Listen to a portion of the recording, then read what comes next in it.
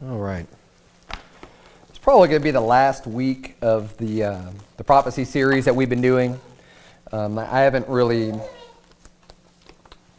found much else that I really want to teach on just in general. I mean, there, there's more things I could preach on, but um, we're kind of coming to an end. I might do one more next week, but I'm not, I'm not too sure about that. Um, I might hit a few issues that are relevant to end times prophecy, like who the elect are and some things like that. But um, for the most part, we're probably going to be wrapping up this evening with the, with the prophecy stuff. We're going to be hitting Revelation up. But um, what I'm going to be preaching on tonight is the unholy trinity. Okay, we're preaching. We're going to go a little bit more in depth into the Antichrist and Satan and the false prophet. And, and really, so we started off here in Isaiah 14. I want you to look back here at verse number 12 because we're going to see an attribute of Satan. We're going to see something about Satan that, that kind of defines who he is and the way that he operates. Look at verse number 12 here in Isaiah 14. The Bible says, How art thou fallen from heaven, O Lucifer, son of the morning? How art thou cut down to the ground, which did, didst weaken the nations? For thou hast said in thine heart, I will ascend into heaven. I will exalt my throne above the stars of God. I will sit also upon the mount of the congregation in the sides of the north. I will ascend above the heights of the clouds. I will be like the Most High. Yet thou shalt be brought down to hell to the sides of the pit. One of the, the, the big things about Satan, one of, the, one of the main attributes of Satan is his pride and his desire to be like God. Doesn't say he wants to replace God. He said he wants to be just like God. And you can see in everything that he does, and we're going to see tonight in the prophecy of end times events, how Satan is literally going to be trying to mimic and, and do the things that Jesus Christ has already done or Jesus Christ is going to do and try to be the fulfillment of the prophecy himself personally so that he could be the one that's worshiped, so that he wants to make a name that's above every name. He wants to get everything that Jesus deserves, that God gets, and he wants to elevate himself up to the heavens and up to just so he can be just like God. Because God's the one who gets all the worship in heaven. God's the one who's sitting on the throne. God's the one who gets all the glory. God's, you know, God is the focus of everything. Satan wants to be the center of attention. He wants to have the worship. He wants to have the focus. And this is this is you know, and this is going to define the theme. So what I'm going to be doing is we're going to be going through Scripture. Turn if you would to uh, Matthew chapter four. We're going to be going through a lot of the end time stuff and just noting what Satan plans on doing and how it corresponds to prophecy of Jesus Christ, right? Of, of these various things and the things that he's going to be doing to counterfeit who, you know, Jesus Christ. Because that's when he comes, he's going to say that he is God. He's basically going to be claiming to be the second coming of Jesus Christ. And in so many areas, and we could even look at other areas. We're not going to do it. I'm going to be. I'm focusing mostly just on the end time stuff.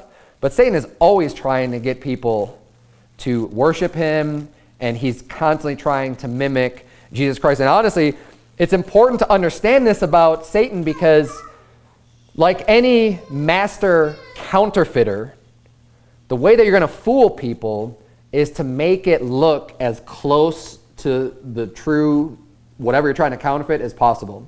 Right? So, like, if you're trying to counterfeit money, if you, if you gave someone at the store like monopoly money, like literal monopoly money, no one's going to be able, no one's going to accept that and be like, oh, okay, $500, here's your change, sir.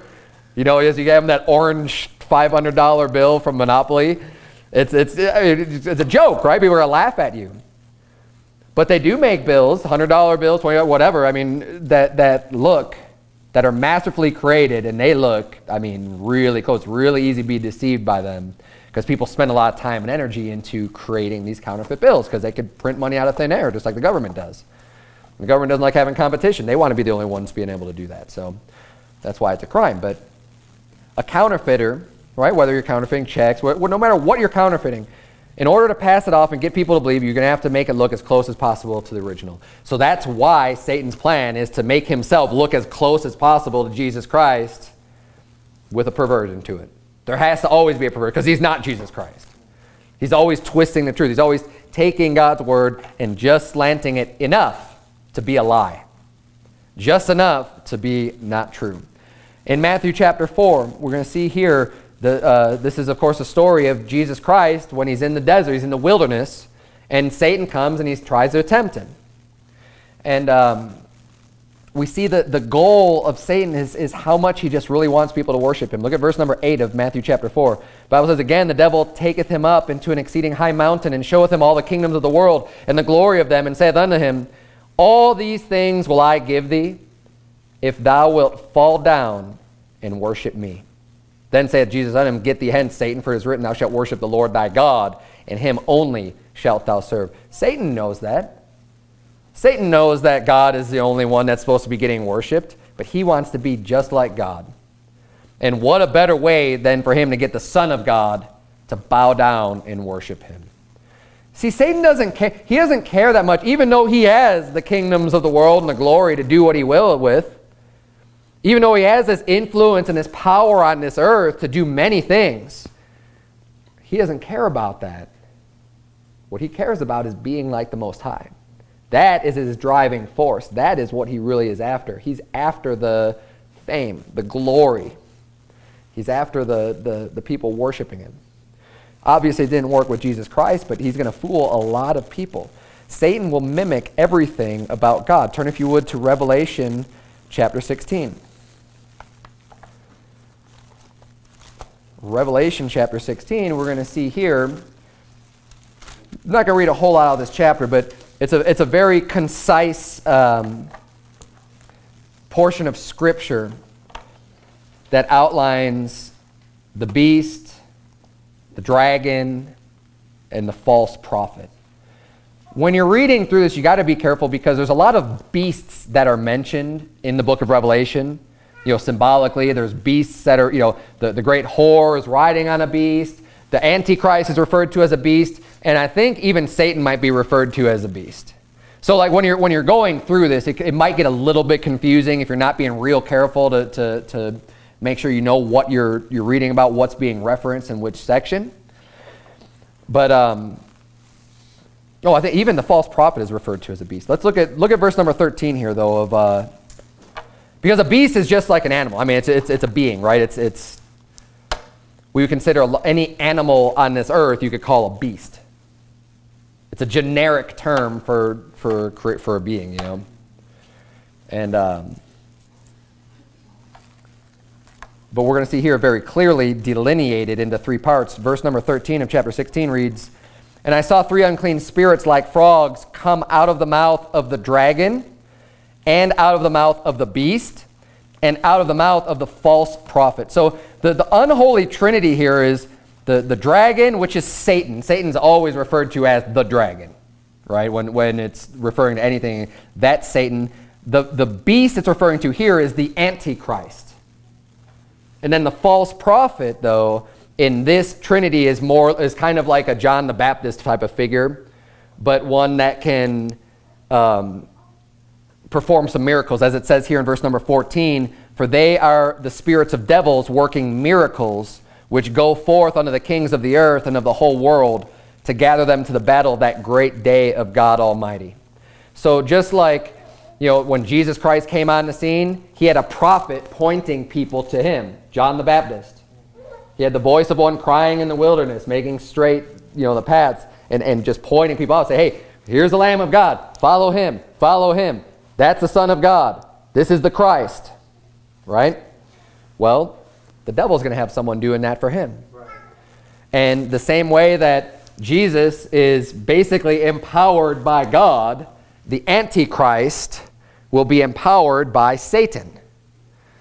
And he, he's doing this, and it's, it's just a, a total mimicry of, of what God has already done, and even of the Trinity in a way of the Father, the Son, and the Holy Ghost right? So it's kind of like an amalgamation here, the way that the Satan's doing it. But um,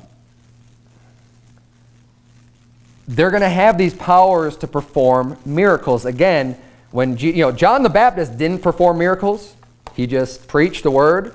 You know, he didn't do anything um, miraculous. He didn't do anything. God didn't empower him in that way, but he was, you know, basically the greatest man to have ever walked this earth, other than Jesus Christ at that time. I mean, was among them are born of women are not risen a greater than John the Baptist, the Bible says. He didn't need to do the miracles, he did the work. But um, the devil's unholy trinity, they are going to be doing miracles. And I'll just quote this for you in Matthew 24. The Bible says in Matthew 24, 23, Then if any man shall say unto you, Lo, here is Christ, or there, believe it not. For there shall arise false Christs and false prophets, and shall show great signs and wonders, insomuch that if it were possible, they shall deceive the very elect. So, the power that Satan has to perform miracles is going to be extremely convincing for the people of this earth. I mean, think about how convincing the miracles were when Jesus walked this earth. He healed people, he raised the dead, he did all these things. Now, I don't necessarily think that the, the, the devil's miracles are going to be of a good variety. They may be, but I think it's going to be more of a demonstration of power. When we see the devil's power in the, in the Bible, I think what, the first thing that comes to my mind is the book of Job. Remember how he attacked Job? He had power to do a lot of various things. He had power to rain fire and brimstone basically down out of heaven to destroy, um, I don't know if it was his fields or his, uh, his um, animals, whatever. There's, there's a few things he did. He caused a whirlwind to come, right? So he had some type of power over some weather and the fire and brimstone to come down from heaven. These are things that Satan had power to do, and they were supernatural things. And see, they're, they're strong enough to, to think that God's doing this. It wasn't God, it was Satan. Satan has the power to do these things. And these are the types of things that I believe he's going to be doing on this earth are these types of miracles. I mean, he, he's even able to perform a miracle with Jesus where when he brought him up on that high mountain to show him all the kingdoms of the world in a moment of time. Right? I mean, he was able to show him those things. Satan is very has a lot of power. God has granted him a lot of power to be able to use. And Another interesting thing about seven Satan, and we didn't we read the entire chapter of Isaiah 14, but what it says is that when he gets to hell, people are gonna be narrowly looking upon him like, you're the one? Wait, you're the one that caused all this fear in the world? You're the one that we're all afraid of? You're the one that caused all this destruction? You know why they'll be saying that? Is because I think Satan's gonna be little, this small wimp of a creature looking, you know, like when you actually see him for who he is He's going to be like, why was anybody ever afraid of you? Because what he does is he builds up a big facade. He's got this great image that he wants to project this fear, and he could use this power and he could use all of these other things to instill fear into people. But he himself is just really not that much to be afraid of at all. And that's what we get from Scripture. I mean, Scripture tells us that, that people are going to be like, why, why were we ever afraid of you? Turn, if you would, to uh, Revelation 13. Just back a couple pages there. Revelation 13.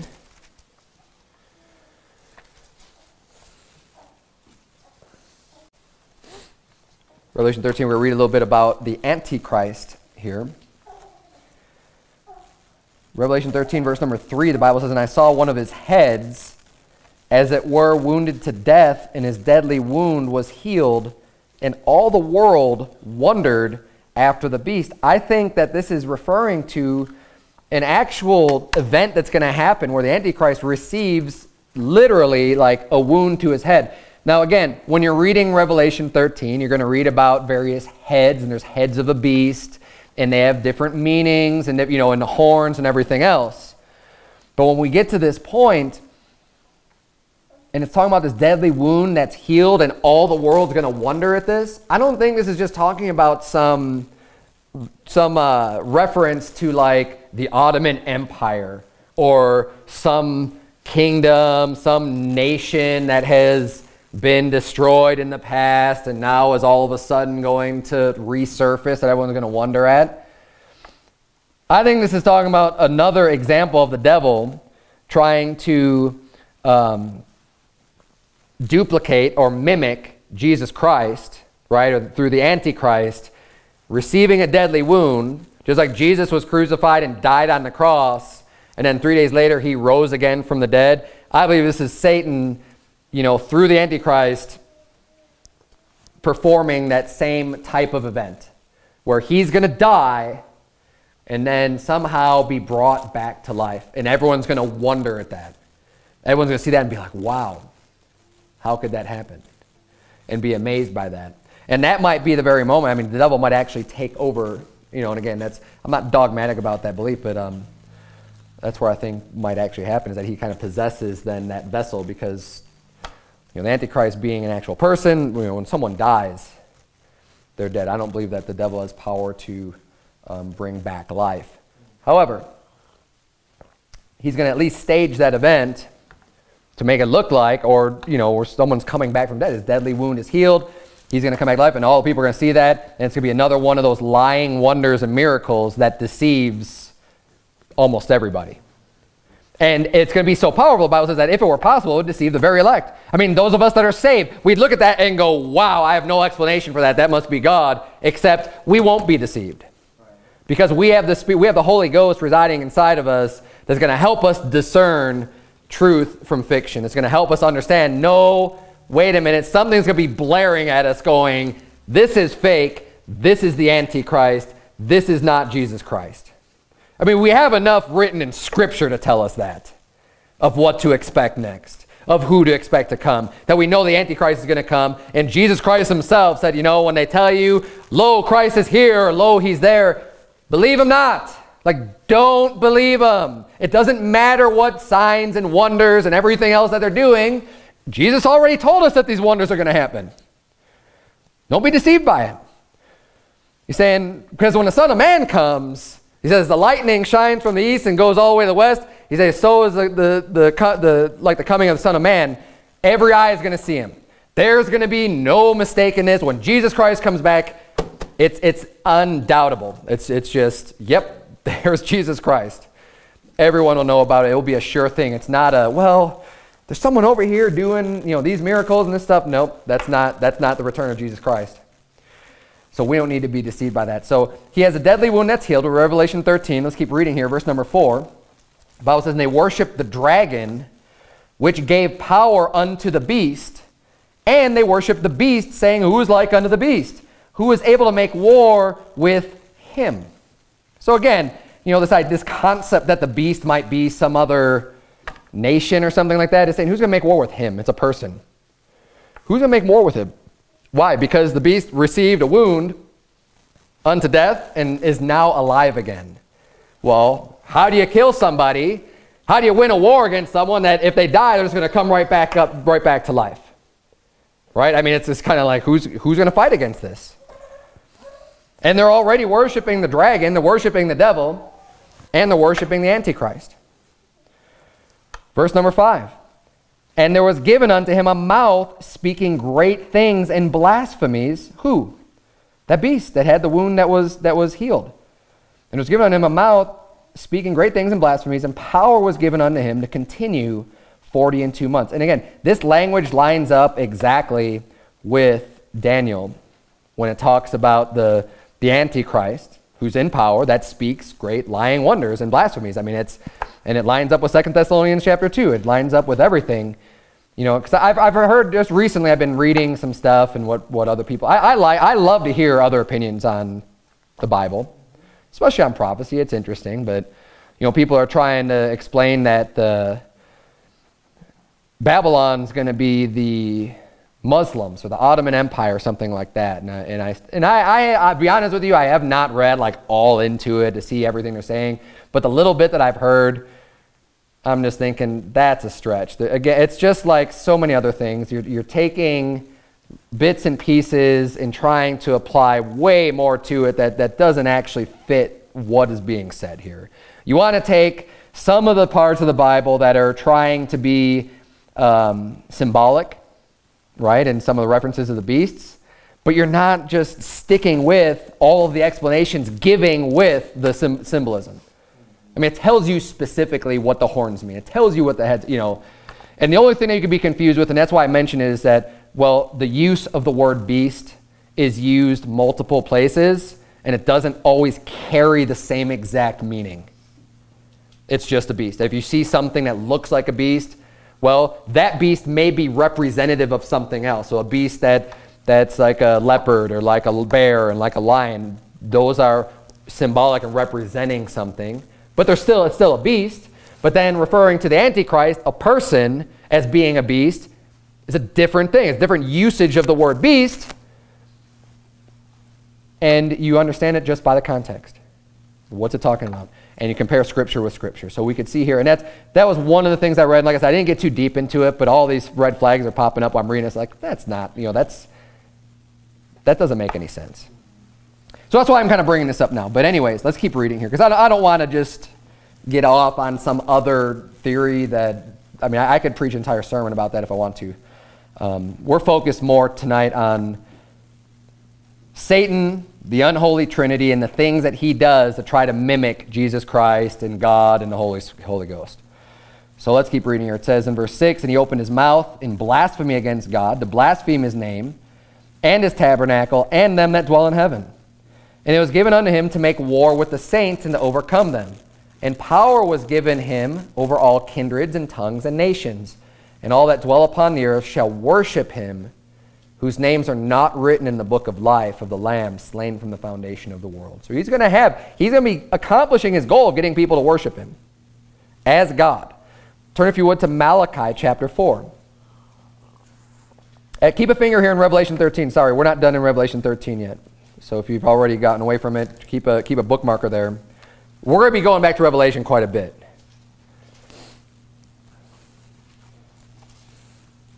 But in Revelation 13, the, part, the portion we just read there, verses 3 through 8, is overall is this description of the Antichrist, right? He has a deadly wound, it's healed.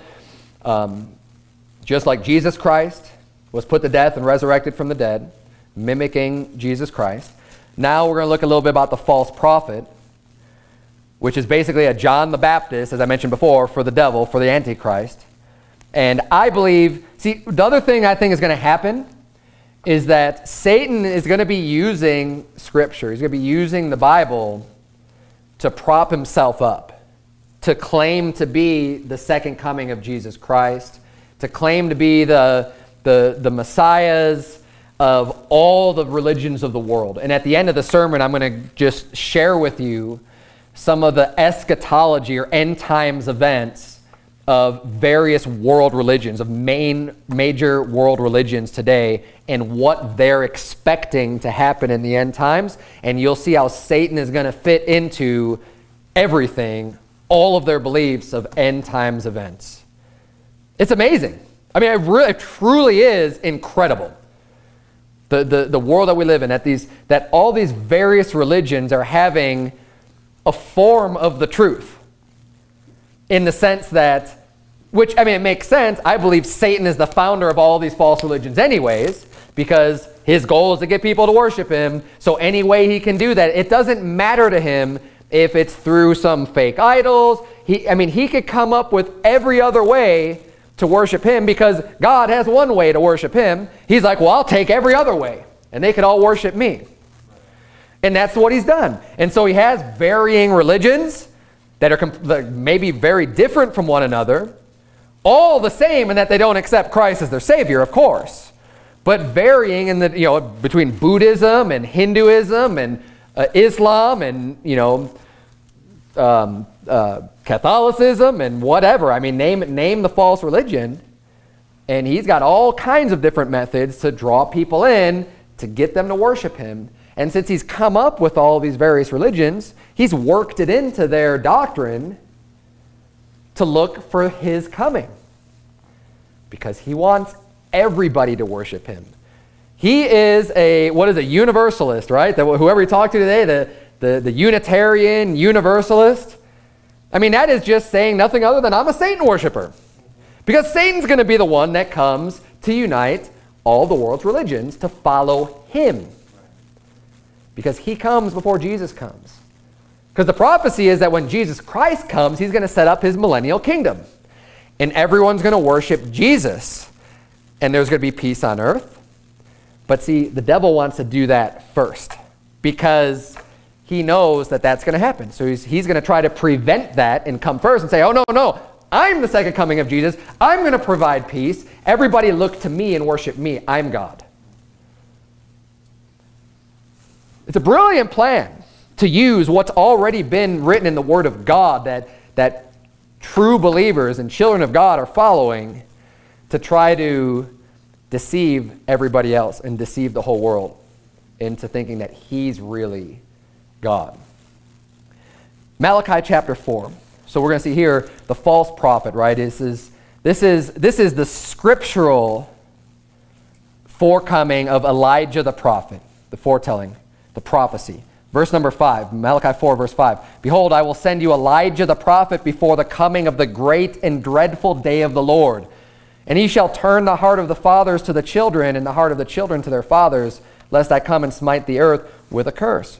So I believe that this false prophet that's going to come and point everybody to the Antichrist is probably going to claim to be Elijah the prophet.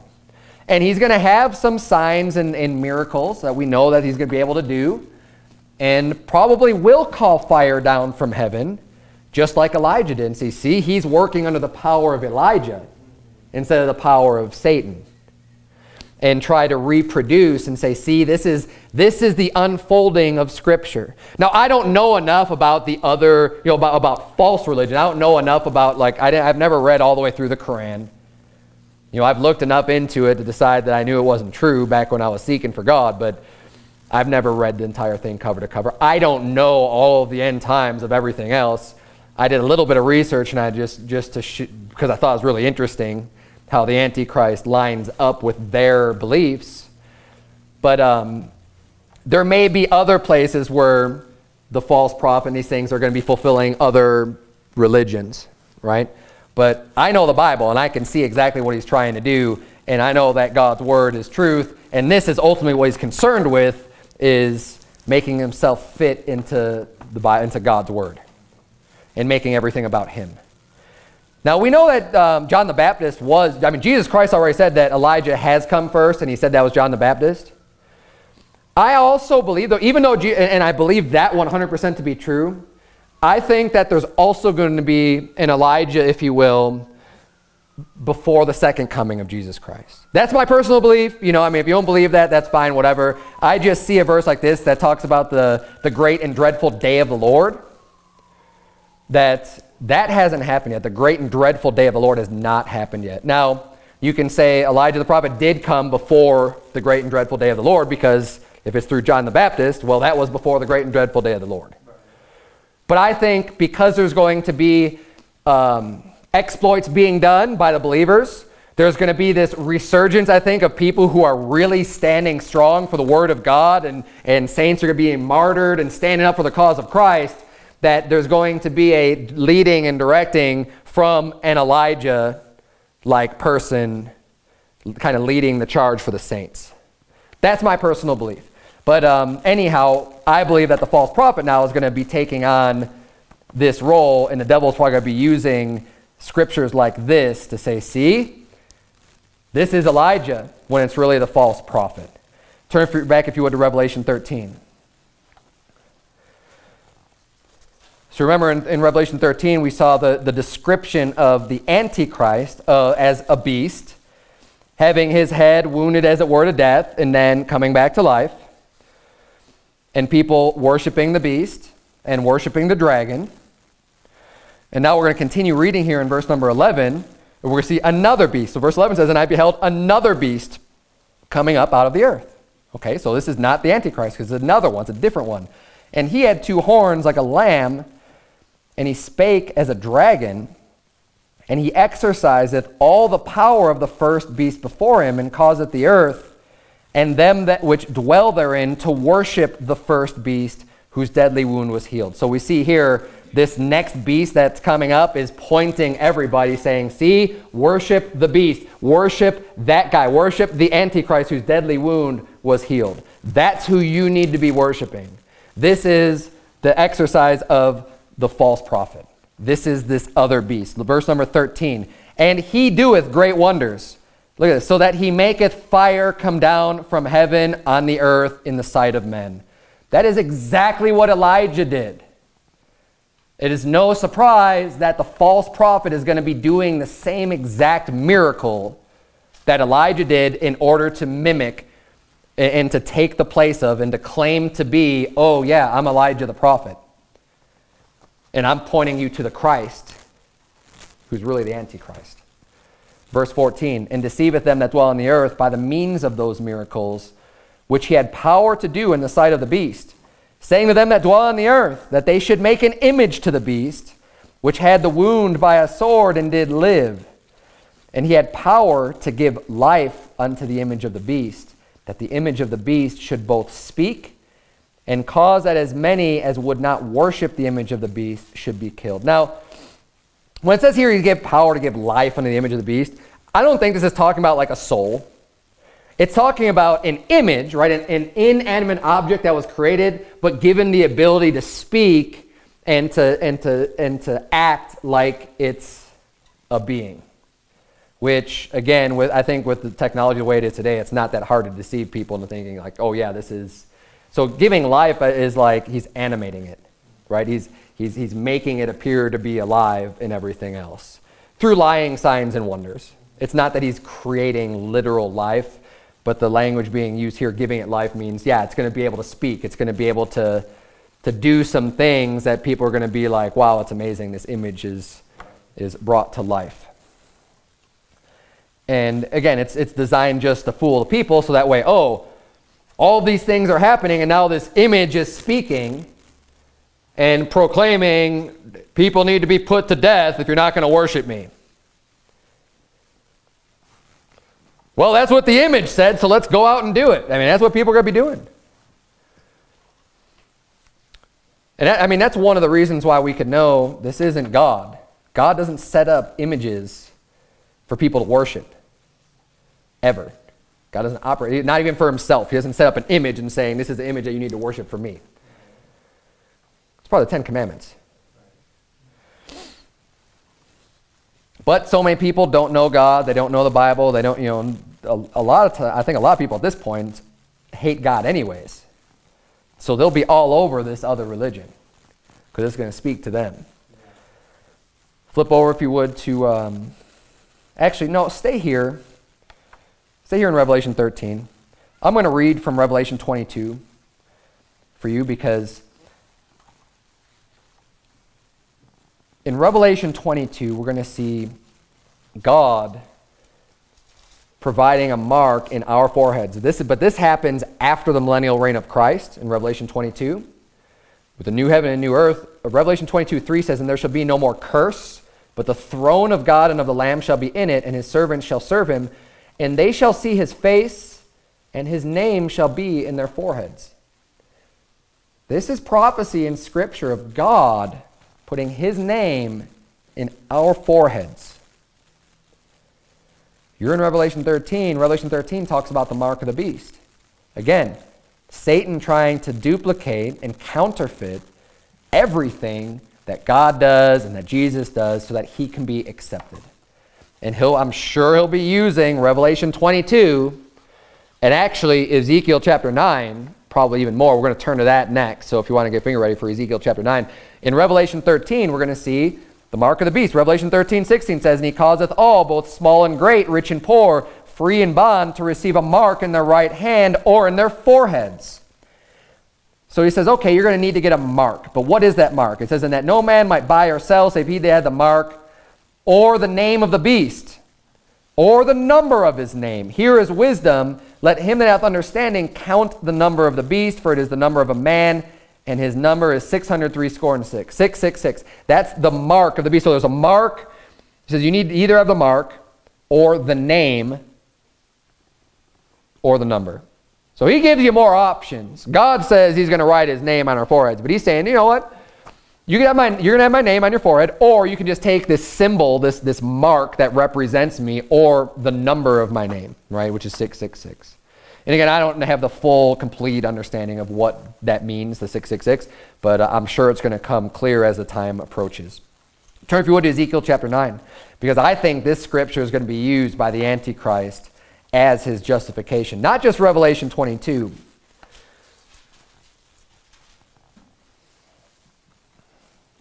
Ezekiel chapter 9, we're going to start reading in verse number 1.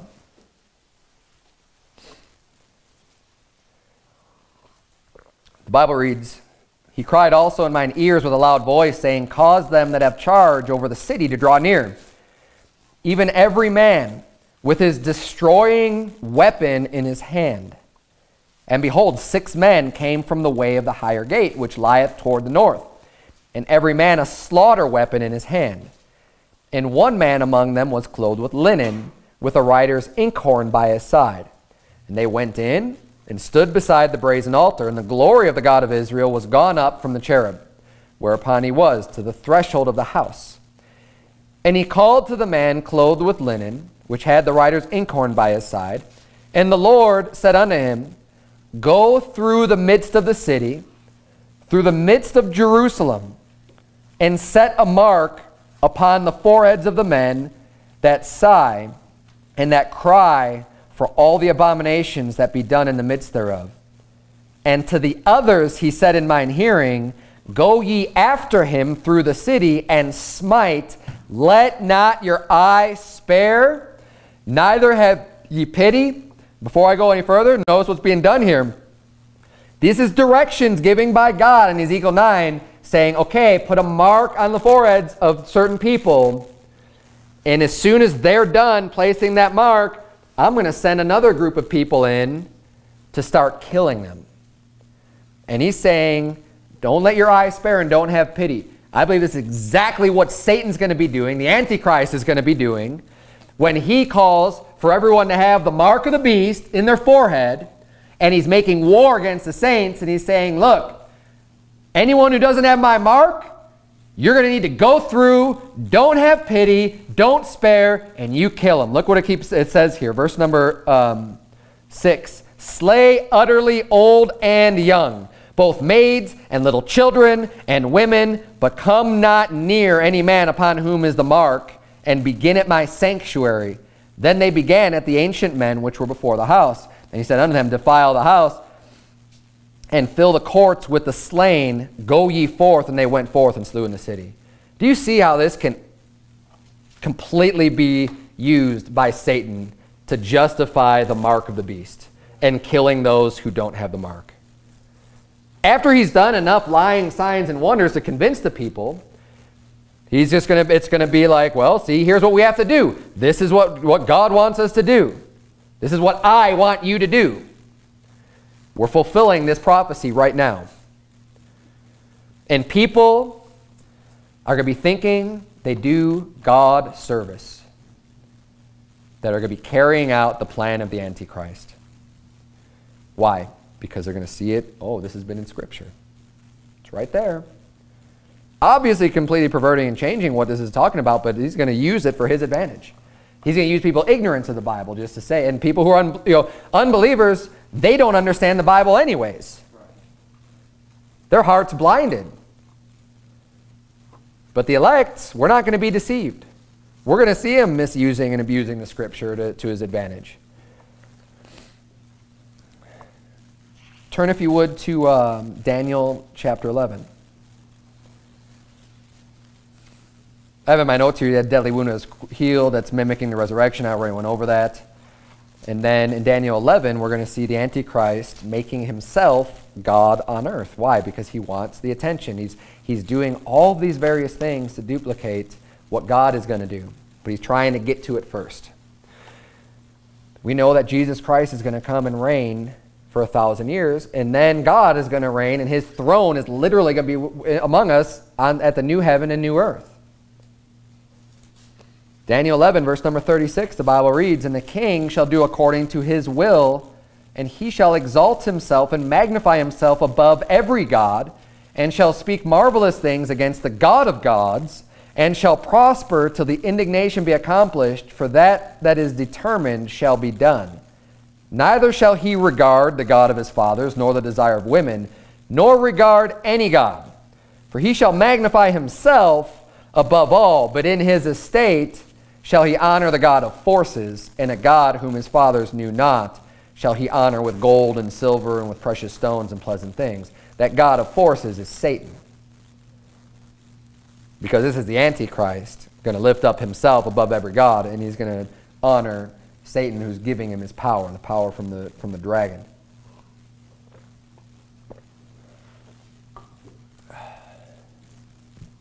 Turn back, well, turn if you would to 2 Thessalonians 2. I know we're jumping around quite a bit, but I just think I just think this stuff is kind of amazing. How how well planned Satan has everything and, and, and how he's going to really try to cement his his his coming. I mean, it's it, it's interesting because it's like, he, but he knows the way things are going to end. So it's, it's, it's, a, it's a bizarre event. Like you, you wonder almost like, what's he thinking? He knows what the end is, yet he's still playing everything out. I, I don't know. I don't get it. Maybe maybe Satan just doesn't know because again, it's just like a lost person. It's just completely a mystery to him. I don't know. It almost just seems just, a, just an exercise in futility. But the way everything plays out, it's, it's almost like he honestly believes he's going to be able to overthrow Jesus and overthrow God. And get it, if he gets enough people behind him, he can do this. I don't know. Pride. It's pride. Exactly. He's blinded by his pride. That's probably what it is. He's so lifted up in himself that he thinks that I can actually do this. I'm better than I'm better than God. I'm gonna I'm gonna find a way to, to do this. You get delusional. Yeah, right. Second Thessalonians 2, look at verse number 3. The Bible says, Let no man deceive you by any means, for that day shall not come, except there come a falling away first, and that man of sin be revealed, the son of perdition, who opposeth and exalteth himself above all that is called God, or that is worshipped, so that he as God sitteth in the temple of God, showing himself that he is God. This lines up exactly what we just read in Daniel 11. Talking about the Antichrist. To be sitting in the temple of God saying, I'm God. Worship me. I am the second coming of Jesus Christ. And then jump down to verse number 8. It says, And then shall that wicked be revealed, whom the Lord shall consume with the spirit of his mouth, and shall destroy with the brightness of his coming, even him whose coming is after the working of Satan, with all power and signs and lying wonders, and with all deceivableness of unrighteousness in them that perish, because they receive not the love of the truth that they might be saved. Turn back, if you would, now to Revelation 19.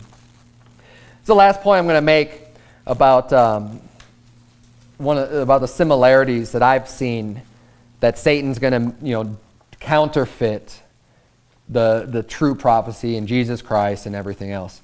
We're going to see here in Revelation 19 the actual the prophecy of Jesus Christ, Revelation 19, 11, where we see Jesus Christ comes on a white horse at the Battle of Armageddon.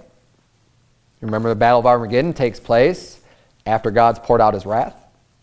And the devil gathers up his armies to fight against God, right? But then Jesus Christ comes, and this is when Jesus Christ is coming to set up his kingdom on this earth, to set up his millennial reign. Verse number 11, Revelation 19 says, And I saw heaven opened, and behold, a white horse. And he that sat upon him was called faithful and true, and in righteousness he doth judge and make war. His eyes were as a flame of fire, and his head were many crowns. And he had a name written that no man knew but he himself. And he was clothed with a vesture dipped in blood, and his name is called the Word of God, obviously talking about Jesus Christ. And the armies which were in heaven followed him upon white horses, clothed in fine linen, white and clean. And out of his mouth goeth a sharp sword that with it he should smite the nations, and he shall rule them with a rod of iron. And he treadeth the winepress of the fierceness and wrath of Almighty God. And he hath on his vesture and on his thigh a name written, King of Kings and Lord of Lords. Now flip back, if you would, to Revelation chapter 6. Revelation chapter 6 is the, is the beginning of the opening of the seals. Revelation 6 is not God pouring out his wrath, it's just the beginning of the seals being opened which is the first three and a half years of Daniel's 70th week of that seven year period. Because this is when the Antichrist gets comes on the scene, basically. Revelation 6, verse 1, it says, And I saw when the Lamb opened one of the seals, and I heard, as it were, the noise of thunder. One of the four beasts saying, Come and see. And I saw, and behold, a white horse, and he that sat on him had a bow, and a crown was given unto him, and he went forth conquering and to conquer.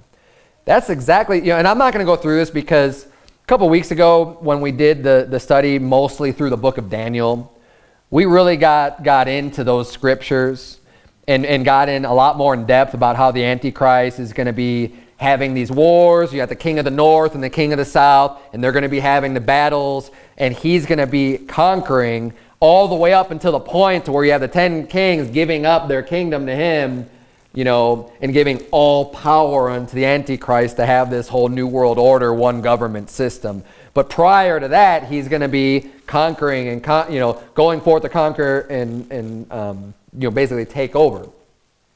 So he's going to be doing these, these great wars and these exploits. And um, he's going to come and unite all religions and destroys the, destroy those that will not convert. That's why he's saying you're going to get the mark of the beast. You know, who has, you know, if you don't worship the image, if you don't fall down and worship the beast and take his mark, then you're going to be killed. Now, all of the, you know, people will say, well, how can you unite all the religions of the world? Don't know, isn't there always fighting between the religions? I mean, isn't there always, you know, conflict and stuff? Well, the way he's going to do that is, as I mentioned earlier, he's going to be the one that they're looking for. He's going to be the first coming of the Messiah for the Jews that don't believe in Jesus Christ, for the Jews who are looking for Messiah to come. He's going to be the last imam to come for the Muslims for Islam. He's going to be the one who's going to fulfill this prophet role. He's going to be the um, Krishna, the, like the second coming of Krishna for the Hindus. It's a different name. It's like Kalik or something. I don't remember exactly. I have it written here. I'm going to read him for you. He's going to be the second coming, essentially, of Buddha. Okay, He's going to be all of these people to the various religions because this is who they're looking for. This is how he's going to unite the world. He's going to offer peace and say, Put me in charge. You know, we'll make worldwide peace here. People are going to be deceived into thinking this is God on earth. One, because of the miracles. Two, because he's going to be fulfilling prophecies left and right through these religions that he's created. And he's mimicking the Bible. He's mimicking Jesus Christ. He's counterfeiting. So all of these main religions have some type of a, of a savior figure that they're expecting. Now look, they all have their own nuances. They all have their own, you know, details. And I am going, I'm way far from providing everything. There's different sects, there's different beliefs, you know, so don't give me any flack for, well, that's not what this sect of Judaism believes or whatever, okay? It doesn't matter because when he comes, he's going to deceive everyone anyways. But I just thought that the similarities here and the things that, um, that, that he's going to fulfill, the Antichrist, is you can, you can see how it's going to affect the world. Because think about it, if there's different sects, let's say you have within Judaism, you've got conservative, you've got Orthodox, you've got Hasidic, you've got you know, all these various brands. You've got what I don't remember what the more liberal ones are, you know, all these various shades of Judaism, right? Well, what's going to happen is when he comes on the scene, it's not going to be that far of a stretch for them to say, oh, well, we were wrong about this. Okay, they were right about these end times events and just, just go with it. Because he's going to fulfill whatever, you know, whatever one of the scriptures. Even within Christianity, those that are not saved, that, um, oh, well, the pre tribulation rapture was true because here he is. Here's Jesus on the scene. I guess these other guys were wrong. Well, we'll, we'll go with that. Right? I mean, whatever. There's, there's so many different things. So um, I'm just gonna, I, I, don't even have all the sources cited here. I, I kind of I went online and I was I was looking. I was trying to find as much of a, a legitimate source as I could. I mean, people who not Christian sources citing Judaism or whatever, but actually going to like Jewish sources, going to Hindu sources, going, you know, because, you know, I've heard different things, but I'm not going to repeat something that I've heard without verifying it for myself. I've heard various applications of, and I'm not saying they're not true, but what I'm going to be providing to you is, to the best of my ability, what I could find about what these people believe. Because this is, this is what I've been able to come up with. But um, regardless, it's, it's all very interesting. So I'm going to read here some sources. Um, and sorry for not citing them. It's in my Google history, I'm sure. Uh, this is, and this is who the Jews are looking for. Now, the Bible itself says, you know, someone who, who comes in his own name, him ye shall receive. Jesus said that. You know, if someone comes in the Lord's name, you're not going to receive him. But someone comes in his own name, him you shall receive. And the Antichrist is going to come in his own name because he's going to be claimed to be God. He's going to sit in the temple of God claiming to be God. And I don't think he's going to take the name of Jesus. I think he's going to take some other name. So here's, here's a little bit what I've copied and pasted. It says that, um, this one source says, Before the time of the Mashiach, which is Messiah, uh, there shall be war and suffering. The Mashiach will bring about the political and spiritual redemption of the Jewish people by bringing us back to Israel and restoring Jerusalem. He will establish a government in Israel that will be the center of all world government, both for Jews and Gentiles. He will rebuild the temple and reestablish its worship. He will restore the religious court system of Israel and establish Jewish law as a law of the land. Interesting, it mentions the rebuilding of the temple and the reestablishment of the animal sacrifices because that we know that those things are going to be happening up until the abomination of desolation, which is that image that's going to be placed in the temple of God. So in order for the temple of God to be there, it needs to be rebuilt because it's not there now. And in order for the, the daily sacrifice to cease, it needs to be reinstituted. Well, the person doing all of that the Jews say that that's going to be the Messiah. So who are they looking for? The Antichrist. Because that's who's going to do these things. According to Scripture, according to the Bible. That is what's going to happen. But they're looking for the Antichrist to be their Savior, their Mashiach, their Messiah. Another source said when the Messiah does come, he will inaugurate the Messianic age.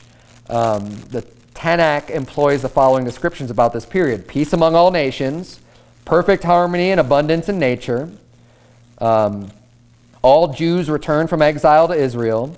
Universal acceptance, universal acceptance of the Jewish God and Jewish, Jewish religion. No sin or evil. All Israel will obey the commandments. Reinstatement of the temple. And then, and then I have another source here. It says Orthodox views have generally held that the Messiah will be descended from his father through the line of King David and will gather the Jews back into the land of Israel, usher in an era of peace, build the third temple, father a male heir, reinstitute the Sanhedrin, and so on. Jewish tradition alludes to two redeemers, both of whom are called Mashiach and are involved in ushering in the Messianic age. Uh, it says in general the term Messiah uh, unqualified refers to Mashiach ben David, Messiah son of David. That's what the Jews are looking for according to their faith, according to their sources, this is what I got. And it's a, the, the, the similarities are astounding. It's like, that's exactly what the Bible says is going to happen, except from the Antichrist. The Muslims, they're looking for their Imam Mahdi. I'll read from these sources for you. In Islamic eschatology, the Mahdi is the prophesied Redeemer of Islam who will rule for 5, 7, 9, or 19 years according to differing interpretations. Um, many of them that I saw were seven years, which is kind of interesting. But anyway, so, okay, there's these variations. It says before the day of judgment and will rid the world of evil. There is no explicit reference to the Mahdi in the Quran, but references to him are found in Hadith, uh, the reports and traditions of Muhammad's teachings collected after his death.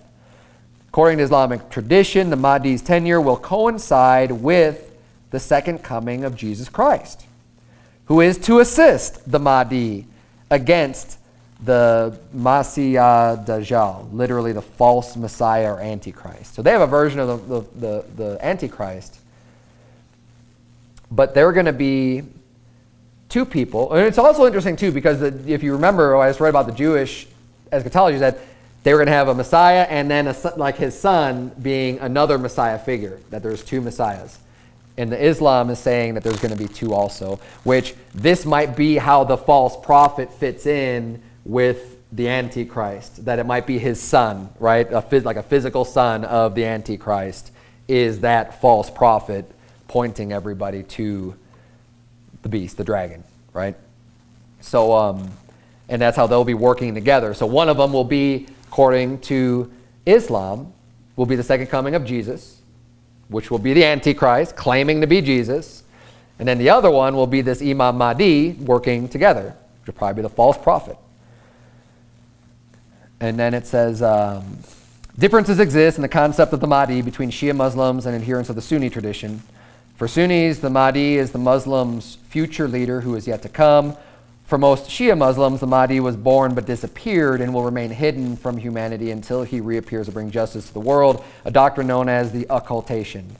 Uh, for 12er Shia, this hidden Imam is Muhammad al Mahdi, the 12th Imam. Uh, another source here says, in heavy contrast with Shiite Islam, Sunnis have a much more human view of the Mahdi, who they believe will be nothing less than the most rightly guided Muslim of his time.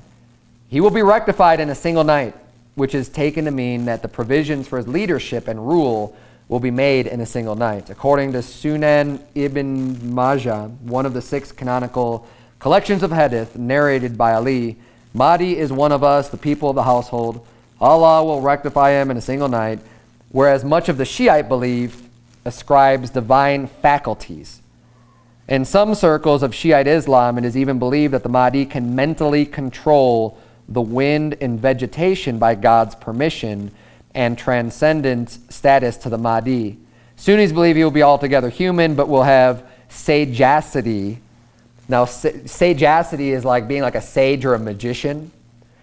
And so both of these are basically saying that he's going to have these supernatural abilities and powers, which again, we saw there's going to be lying signs and wonders, so created by the Antichrist. Again, it fits in perfect. When he comes, he's, he's exactly going to be doing what they're expecting, especially as it pertains to leading other people and ruling a nation. Sunnis believe he will rise and be recognized by his continued philanthropy, charity. Now look at this. Ch- philanthropy, charity, piety, facial features. So if you remember what the Antichrist does, again, described in Daniel, it says that he does something that his fathers didn't do in that he distributes the spoil. He distributes when he's when he's conquering and stuff. He's going to be doing this this like redistribution of wealth to all the people and, and giving that to them to make them love him even more. And, and I'm sorry, I, I, I don't have the reference for that, but it's in Daniel, and we covered that when we did a couple weeks ago. You can look it up for yourself in Daniel. I, I don't remember what chapter it's in. Um, so the Sunnis, are, the Sunni Muslims are expecting this, uh, this figure who's going to be have philanthropy, charity, piety, facial features, name, and sense of justice, not through direct divine intervention. It says it is not unreasonable to suspect, based on these narrations, that the Mahdi may not be known to the people immediately, even after being born and living for quite some time without the title of Mahdi. So they're expecting someone that he could be born and just people won't know it yet until he comes on scene. And that's it. I think that's exactly the way it's going to happen with the Antichrist. He's going to be around for a while. And when the Bible talks about him coming into power, it says he's going to come into power through flatteries. He's not going to conquer anything like this. He's going to come in with a small group of people, and he's going to win the kingdom over by flatteries. People aren't going to know who he was in advance, but then he's going to come into power, and then he's going to be make himself known.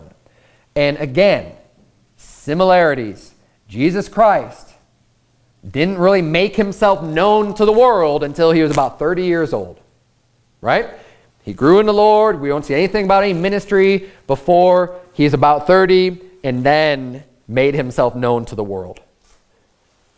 The Antichrist will probably be about 30 years old in true form and fashion to just duplicate and counterfeit everything that God has done.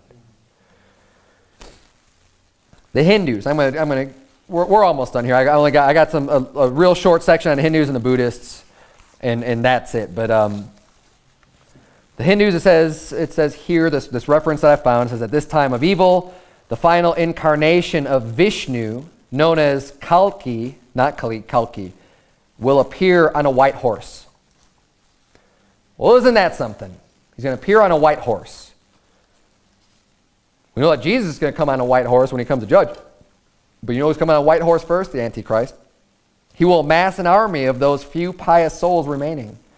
These, together with all the incarnations of the Godhead, or avatars, which have appeared throughout human history, will destroy all demons and sins in the world. You know who are going to be the demons in the world at this time? It's going to be the believers, the believers in Jesus Christ.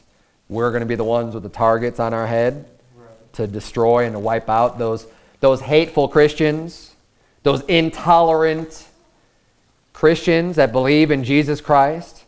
They'll probably have another name for us to dehumanize and to, and to just, just get people, everybody against what we believe. Terrorists, yeah. I mean, you can see the language being manipulated already to try to fit people, you know, these radical Christian extremist terrorists that are spreading hate in the world. Judging. I mean, however they do it, you, you could see it. I mean, you could see the attacks coming. You see how things are forming together. And that's going to be us. And people have this figure, and they're going to believe the lie. They're going to believe the false, the, the lying signs and wonders because they, they didn't believe the truth. And they're going to be swept away with this nonsense. The Buddhists. So here's, here's what I have for the Buddhists. There will be a new era in which the next Buddha, Maitreya, will appear. But it will be preceded by the degeneration of human society. This will be a period of greed, lust, poverty, ill will, violence, murder, impiety, physical weakness, sexual depravity, and societal collapse. And even the Buddha himself will be forgotten. Oh, that's horrible. The Buddha himself? What's interesting though about the Buddhists is that like there's there's honestly like that's probably from what I read, and I didn't spend tons of time researching this. That was the closest thing I found that's going to match up because there is. There's going to be a degrading of society. I mean, we're seeing it happening now. There's going to be a lot of violence. There's going to be a lot of turmoil. There's going to be a lot of problems in the world. There'll be wars, rumors of wars. There'll be famines, pestilence, sexual depravity.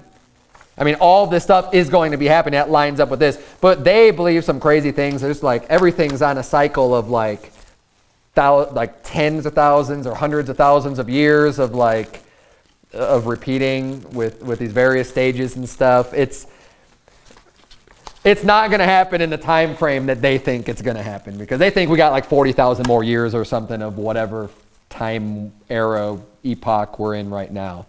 But Again, it won't matter when you have the pieces of it there because they'll just say, oh, okay, well, we were wrong about that, but obviously everything else is fitting into the picture. Right. So it's not that hard to swallow that, well, we didn't have all the details right. Well, we misunderstood something here, but here it all is.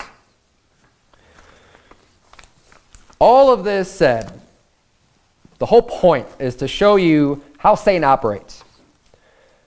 Because there's a greater theme to learn. It, it's fun looking at prophecy. I, it, I love doing this. I think it's great to just see what's going to happen, just to, just to know what's going to happen.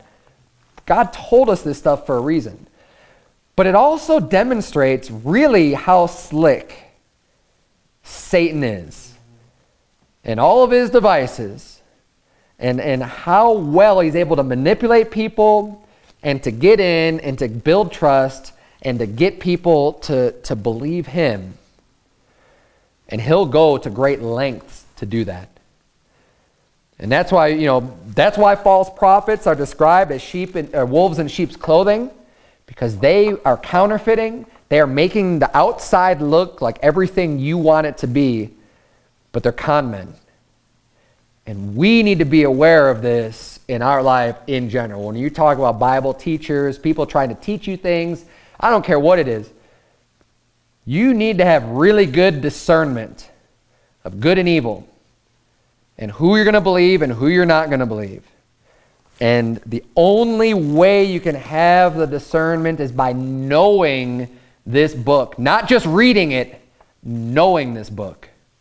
Reading it over and over and over and over again. So that way, when You're confronted with how do I know if what he's saying is true? You have a foundation of truth to compare it against. The people who, who check for counterfeit bills, counterfeit money, you know how they know which ones are counterfeit? Because they study the real thing over and over and over and over again so they know what is real. That way, when something else is put in front of them, they can see, oh, wait, this isn't real.